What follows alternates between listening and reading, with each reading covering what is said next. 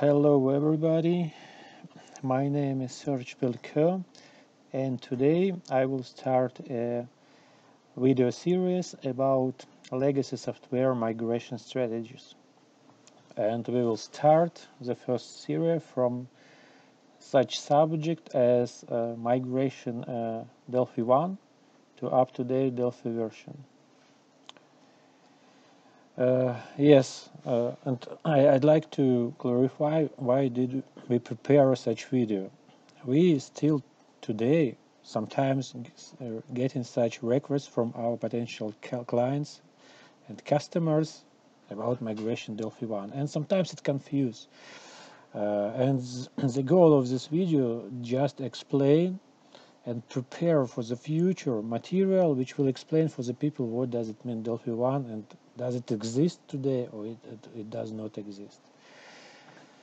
And uh, in the beginning I want to start from some history and yes like a, a little addition this video more for the business people for decision makers which just know something or heard something that they have such software by don't uh, understand deeply what's uh, going on in, in real life. Let's start from the beginning.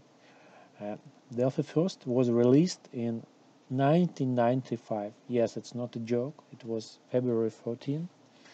And it was developed for develop an application for Windows 3.1 60-bit.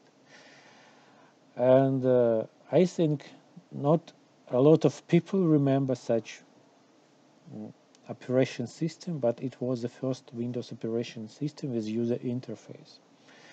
And why I explain it and added this history? It's it's it's very important for understanding what does it mean Delphi One. Because do we really still have such applications? Is it possible at all?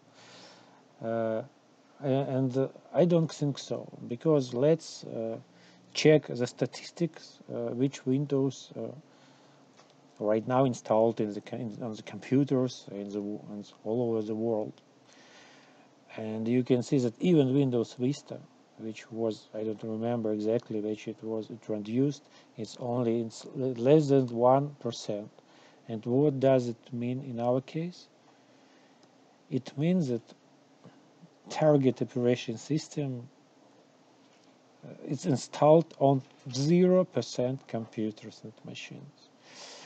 And if you have such requests, like migration Delphi 1 applications, uh, maybe maybe you, you, you, maybe you do not have uh, enough information or correct information because we think that uh, uh in real life we don't have such applications nowadays.